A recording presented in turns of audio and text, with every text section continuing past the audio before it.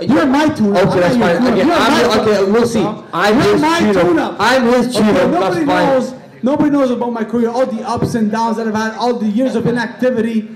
Yeah, so you're my tune-up. I need a tune-up fight. After the Canelo loss, you went on a losing streak, family, wife, and then you go out and you tweet to the heavyweight champion of the world that he can have your leftovers. Wow, you-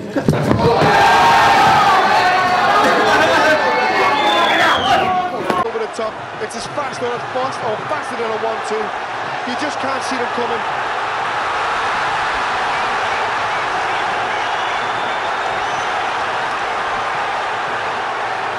That's his sixth first round stoppage win.